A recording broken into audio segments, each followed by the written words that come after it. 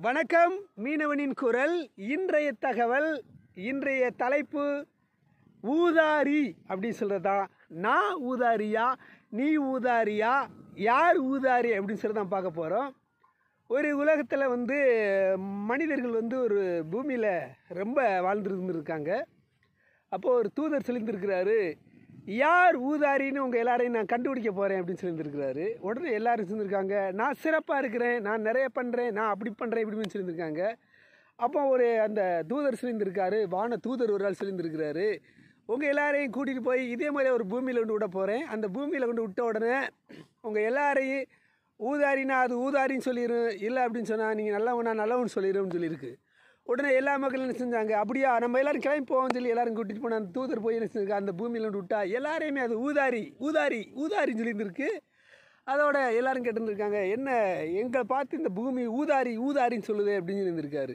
அப்போ பார்த்தா திடீர்னு பார்த்தா அதில் ஒரே ஒரு ரெண்டு பெரிய மனிதர்கள் வந்து உள்ள வயசானவங்க வந்துருந்துருக்காங்க உள்ளே உள்ள. வந்த உடனே அவங்கள பார்த்து எல்லாருமே சிரிச்சுருந்துருக்குறாங்க. நம்மளே இது ஊதாரின்னு சொல்லுது. இவங்களையும் ஊதாரின்னு சொல்லணும் அப்படின்னு சொன்னால் அந்த ரெண்டு பெரிய மனிதர் உள்ளே போன உடனே அந்த இது வந்து என்ன அந்த பூமியானது அப்படியே ஒரு பிரகாசமாக வந்து வரவே தந்திருக்கு. உடனே இது அந்த உடனே அந்த தூதர்கள்ட்ட போய் என்னையா இவங்கள மட்டும் ஊதாரின்னு சொல்ல மாட்டுக்கு அப்படின்னு சொல்லியிருந்திருக்காங்க. இங்கே வா அப்படின்னு சொல்லி இன்னொரு உலகத்தை காமிச்சிருக்காங்க அவர் என்ன பண்ணியிருந்திருக்காரு அப்படின்னு சொன்னால் சாதாரண மனிதன்தான் ஒவ்வொரு இறந்த வீட்டுக்கும் போய் இறந்தவர்களுடைய உடலை கழுவி அந்த அடக்கத்துக்கு உதவி செய்கிறது தான் அந்த இரண்டு பெரியவர்களுடைய வேலை. உடனே ஆனால் அதில் சில பேர் சிரிப்பாங்க சில பேர் இது பண்ணுவாங்க அவங்க இது ஒரு சேவையாகவே பண்ணியிருக்காங்க அந்த ஊ கிராமத்தில் யாராவது இறந்துட்டாங்கன்னா உடனே என்ன செய்வாங்க? அவங்கள ஃபோன் பண்ணி இந்த மாதிரி இருக்க பெரியவங்களை அப்படின்னு சொன்ன உடனே அவங்க சமூக தொண்டு மாதிரியாக செஞ்சு அந்த விஷயத்தை அவங்க பண்ணி வாழ்க்கையில் அதை கடந்து வந்துருந்துருக்குறாங்க.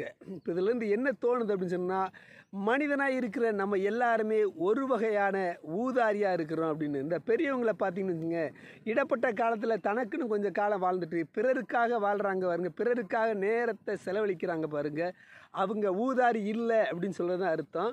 அதனால இதில் யார் ஊதாரி யார் ஊதாரி இல்லாமல் இருக்கிறாங்க அப்படின்னு சொல்கிறத நம்மளே முடிவெடுத்துக்கிறலாம்.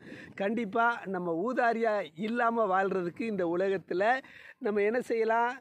பிறருக்காக கொஞ்சம் நேரத்தை செலவழித்தோம்னா அந்த உலகத்துக்கு அதாவது சொர்க்கத்துக்கு போய் நம்ம ஊதாரி இல்லாமல் வாழலாம் அப்படின்னு சொல்கிற கதை. யார் ஊதாரி என்று நம்மளே முடிவெடுத்துக்கிறலாம்.